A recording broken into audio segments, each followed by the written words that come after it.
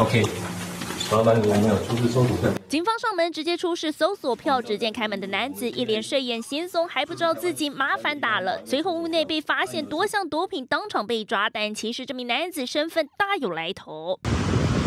他就是台虎精酿啤酒的创办人之一吴祖伦，被警方带走时换穿一身黑衣黑裤，双手插在口袋，神情看起来并不紧张。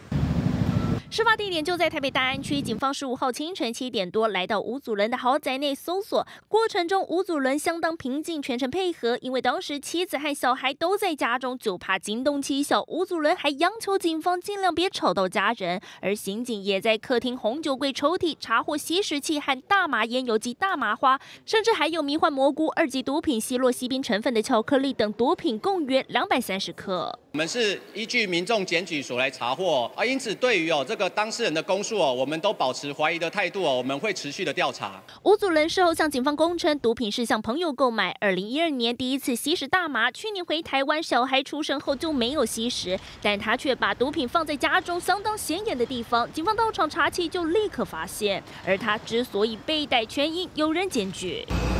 原来十月时，新北刑大就接获毒品检举情资，深入追查，双北一带有不少网红富二代持有大麻。六号 YouTuber 九妹雷拉被逮后，警方持续扩大侦办，只会再度清晨拂晓出击，逮捕吴祖伦。虽然讯后他被吴保请回，但检警不排除他与网红们的毒品来源都是透过同一个药头。目前将持续追查，要彻底厘清整起毒品案的交易网络。金新闻综合报道，立刻下载金新闻 App，一手掌握新闻时事。尽善尽美，尽好新闻。